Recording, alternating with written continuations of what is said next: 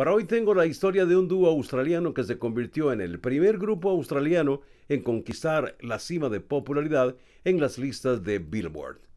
Estoy hablando de Air Supply, un dúo compuesto por dos intérpretes que se conocieron en audiciones para participar en el musical Jesucristo Superestrella.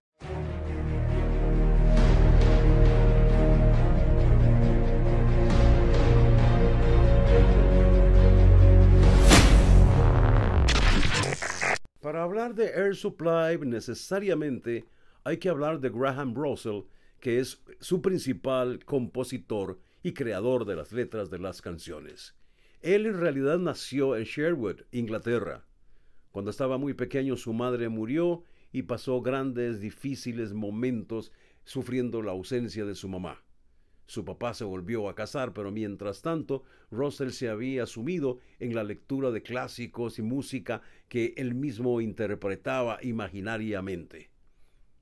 Por asuntos de trabajo, su padre tuvo que trasladarse a Australia y la noche anterior de embarcarse, Russell huyó de la casa, de tal forma que su padre tuvo que emprender el viaje solo y Russell se quedó a vivir con un tío durante tres años. Les invito a suscribirse al canal y también a escucharme semanalmente en la hora soul en Spotify, un espacio dedicado a escuchar las canciones y más detalles de las historias que hemos contado en video. Les invito a ser parte de esta gran comunidad. Suscríbanse.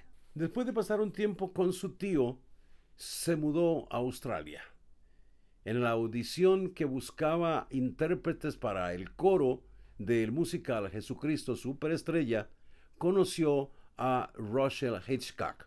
Conformándose como dúo, dejaron el musical Jesucristo Superestrella y comenzaron a hacer proyectos con músicos de estudio, de tal forma que se ganaron grandes oportunidades para abrir conciertos de estrellas como Rod Stewart. El 25 de julio de 1981, la canción The One That You Love llegó al número uno convirtiéndose en el gran primer éxito para un dúo australiano que llegó a conquistar las listas de popularidad en el mundo entero. Suscríbanse, al final pueden dejarme comentarios con la finalidad de poder seguir investigando sobre los temas y las canciones que a ustedes más les agrada.